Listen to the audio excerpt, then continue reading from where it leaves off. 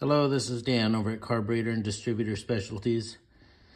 A client, Ray, shipped me a brand new uh, Chevy distributor, HEI. Um, it's brand new in the box. As you can see, it's a made in China distributor. I'm not sure where he got it. But um, he wanted me to take a look at the curve. So I'm going to get this thing unboxed, put it on the machine, and I'll pick up at the machine showing um, how the curve is on it. I know a lot of people are interested in if these, uh, you know, Chinese uh, performance distributors are, um, are what they're cracked up to be. So let's put one on the machine and check it out.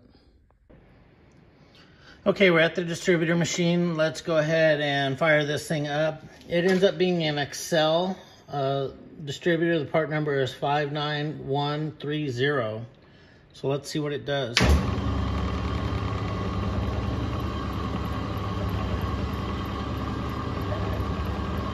I'll call out the um, RPM graduations for you. We're zeroed out.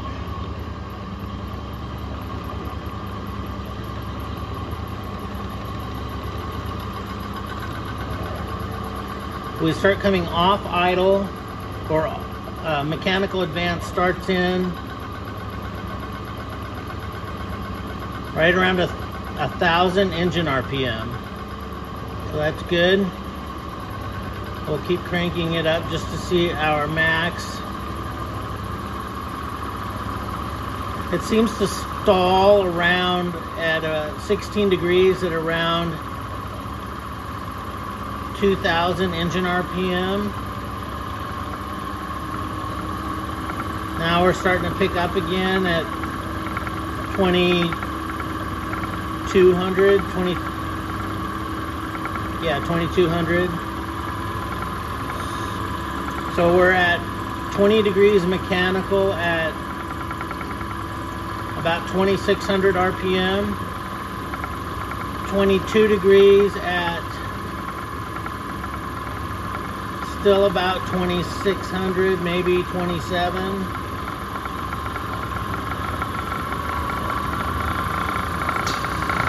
We're starting to climb again. We're at 4,000 engine RPM.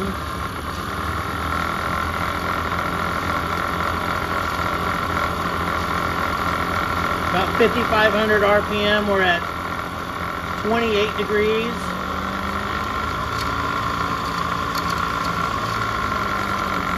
Thirty plus degrees at 7,000 plus RPM. So the curve looks pretty good. It just looks like it needs to be limited. It did come with a bag of tricks and no instructions really. Um,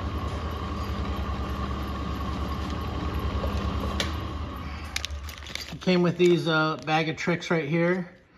And it looks like some of these might be a limiter for the vacuum I'm um, not the vacuum advance, but for the mechanical advance. So I'm gonna put that in and see if we can get the, um, um, limit the mechanical advance and have this thing uh, work pretty much out of the box. All right, I've taken this apart. I'm freehanding it if it's a little wobbly. But um, this looks like a regular um, or patterned after the original HEI.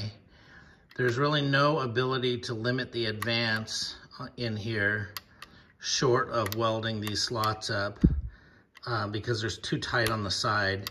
There's no bushings in that little bag of tricks to uh, limit that.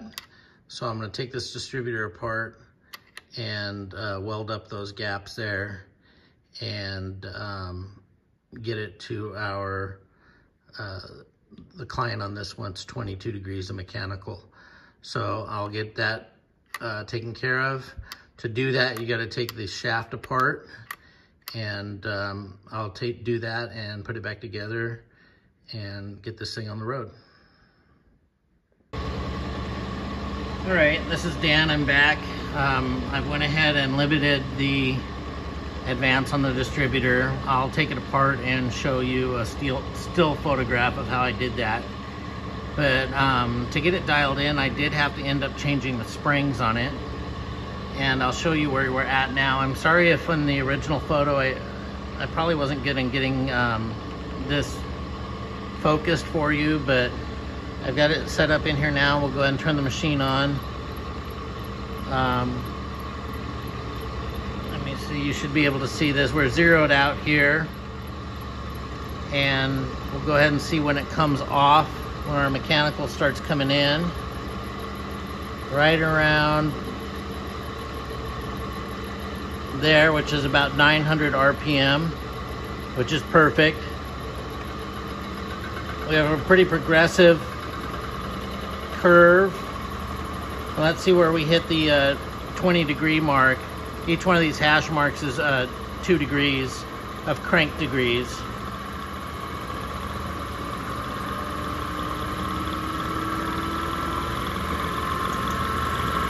So right there we're at 20 degrees and we're about 2800 RPM. I don't know, I think the uh, tachometer is out of your view.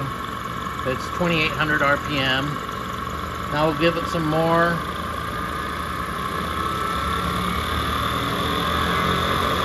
Six thousand RPM. You can see that it's staying at 20. So we've got the curve dialed in that we want.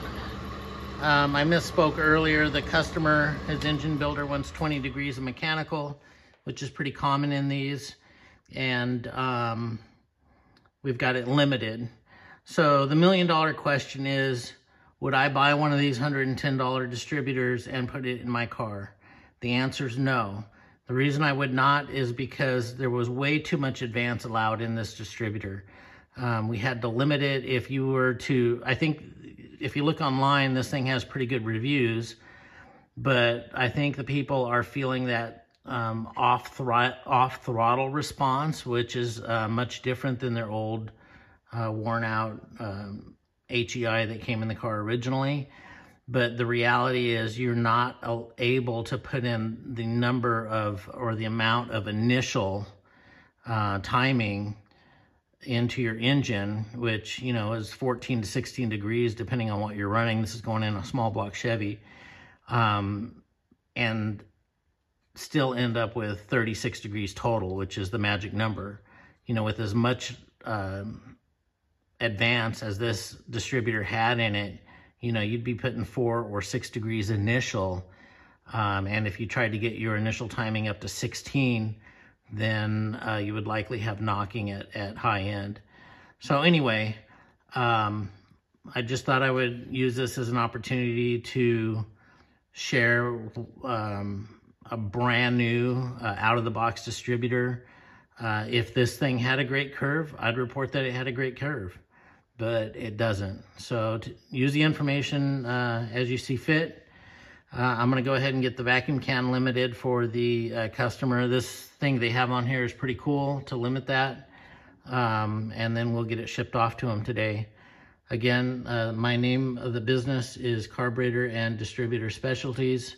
My website is www.gasandspark, all spelled out, .com. And uh, I also have a Facebook page if you want to follow me and look me up and follow me on there. Thank you very much for watching.